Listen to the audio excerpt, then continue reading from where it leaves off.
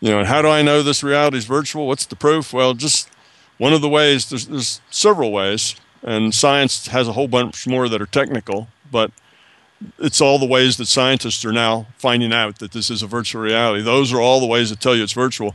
But let's just do something simple that everybody knows. What about your World of Warcraft guys? Let's say the World of Warcraft elves all get together and they try to figure out where did their universe come from? What would they find? They would find that it just happened one day. I mean, there wasn't anything, and then it was. And here we were, right? That's what they'd find out. memory, memory goes right back to a certain place, and then it's a wall. You can't tell what happened. And if they were honest as Fredkin, they'd say, well, it must have come from other because we can't, it didn't create itself. And, and they would be right. The other would be the server out in what we call the physical matter reality, you say, would be the source. Well, when we go back to our, to the beginning, we get to a big bang. There's nothing on the other side of that big bang. Suddenly there was just this ball of, of plasma and, was, you know, and then we had a universe.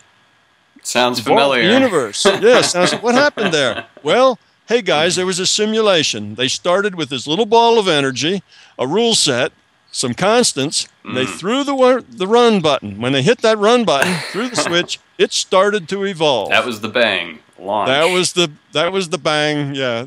In other, the run button was hit and the evolution started. You see, that's where it comes from. So if you look at our own case, it's the same thing. You get right back to, yeah, I can see it started back at this point, but then you hit the wall. It's impossible logically for it to anything else to be on the other side of that. Not from here anyway. Right. It has to like be we said, somewhere. Has else. to be from other. Okay, so you get back to the same place the elves got to. Right. Well, it just seemed all of a sudden start here, and it must have come from other.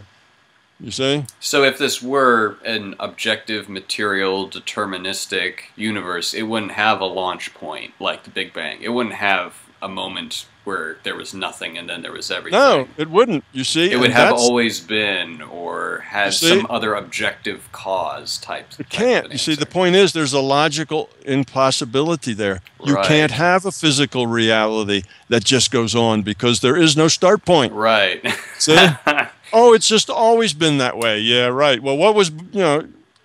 Be a little more specific about it's always been that way. Well, what you get to is that it has to start from nothing.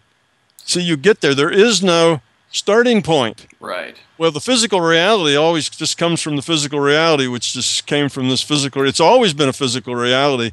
That's BS. You right. see, that's a belief.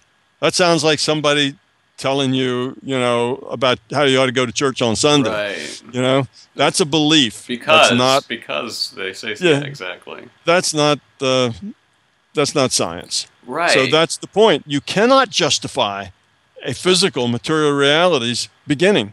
That's very funny because everyone it can't have a beginning. Everyone thinks that that's the more conservative, realistic, yeah. down to earth right. thing. That there was just right. always this, but it, that's actually more intellectually inconsistent than it, this seemingly far out. Uh, it's back to third grade logic. You right, see, right. That's in the same category as well. Yeah, okay, it is virtual, but it computed itself. It's the uh, basics that slip us up now.